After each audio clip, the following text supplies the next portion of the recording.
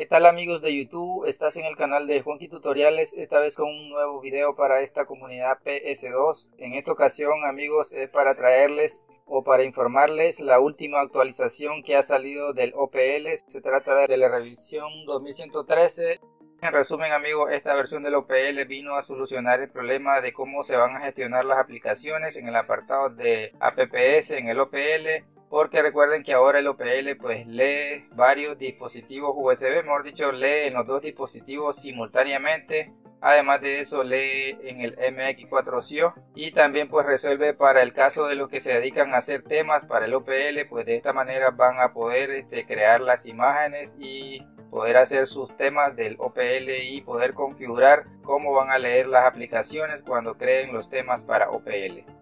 Básicamente lo que se hizo fue una gestión de cómo se van a, gestionar, valga la redundancia, las aplicaciones en el apartado de APPS en el OPL. De manera que cuando tenemos las aplicaciones en diferentes dispositivos, pues aquí había un problema y es esta corrección pues lo que vino a solucionar ese problema en cuanto a los múltiples dispositivos donde debe leer las aplicaciones el OPL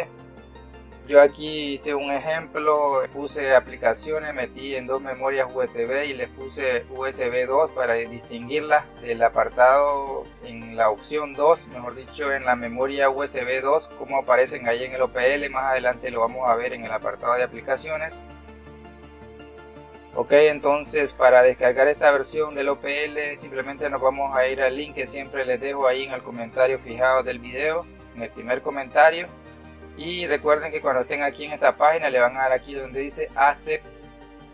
y van a escoger la tercera opción donde aparece el número de la versión del OPL y van a poder descargar dicha aplicación para que la probemos en nuestra memoria USB o que lo apliquemos también en el apartado APPS. También pues es opcional que carguen el idioma español Ok, una vez que descarguemos dichos archivos, simplemente nos vamos a la carpeta, a nuestra carpeta de descargas y ubicamos la aplicación. Como les decía, pues también es opcional que puedan descargar el idioma, pero en este caso solo voy a descargar el archivo. Lo descomprimo, me va a dejar esta carpeta y dentro van a encontrar varios archivos pero el que nos interesa es el que dice OPNPS2LD y varios dígitos ahí. Lo que hago yo es acortar el nombre y una vez que acorto el nombre simplemente lo muevo a una memoria USB ya sea que lo pasen directamente a la carpeta de aplicaciones y crean el archivo para el acceso directo. Como pueden ver yo aquí ya lo tengo. Como les dije anteriormente pues también creé carpetas a través de title.cfg que me permite pues crear las aplicaciones por carpeta como pueden ver pues yo aquí ya pegué mi aplicación y también tengo otras aplicaciones con sus respectivas carpetas que quiero ver más adelante cómo se comporta el OPL en esta versión 2113 que viene a solucionar pues el problema de que tenemos dos USB pues y tenemos aplicaciones. Quiero ver si es capaz de mostrar las aplicaciones en diferentes memorias USB como pueden ver también he creado el archivo cons apps.cfg donde ya tengo el acceso directo para el apartado de aplicaciones de la versión del OPL que estamos mostrando en este video que es la 2113 y más adelante como les digo vamos a ir directamente a nuestra PS2 y vamos a probar cómo se comporta mostrando las aplicaciones cuando tengo dos memorias USB conectadas y un dispositivo MX4CO y mostrando aplicaciones tanto por el apartado apps como por el método titele.cfg como pueden ver tengo esta otra memoria donde también agregué aplicaciones, como les digo le puse USB 2 para distinguirlas para que vean cómo se van a mostrar en el apartado APPS en esta nueva versión del OPL, la versión 2113 que en este caso a través del método titele.cfg también se indica como USB 2 para diferenciarlo. Pues esto yo lo hice manualmente para que podamos ver. Ok, una vez que ya hemos configurado nuestras aplicaciones y la nueva versión del OPL, simplemente nos vamos a ir a nuestra PS2 e iniciamos esta versión del OPL 2113. Vamos a arrancarlo, yo aquí yo ya creé el acceso directo, ya configuré a través de configure FreeNCBook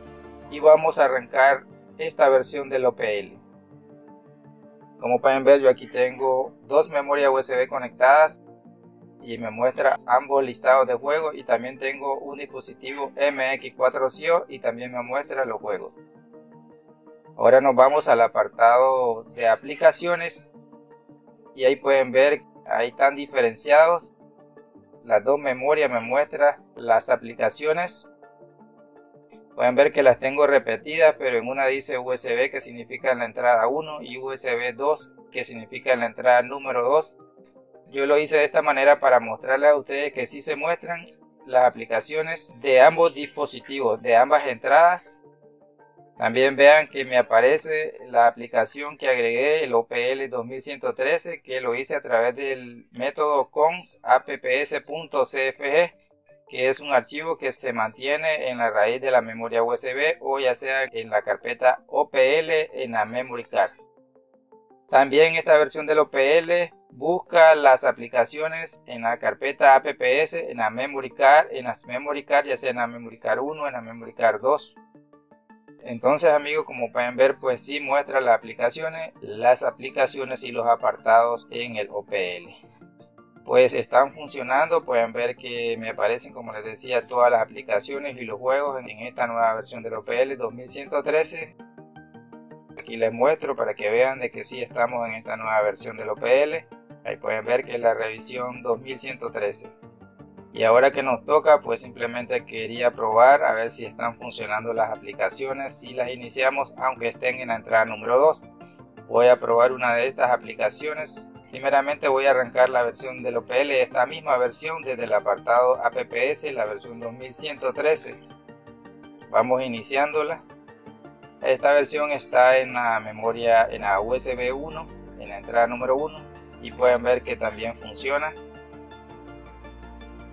Y ahora pues solo me toca probar una de las aplicaciones, pero que esté en la entrada número 2. Vamos a probar una para ver si arranca. Como pueden ver arranca y también pues muestra los juegos. Obviamente esta solo me va a mostrar juegos de la entrada número 1 no me va a mostrar juegos de la entrada número 2.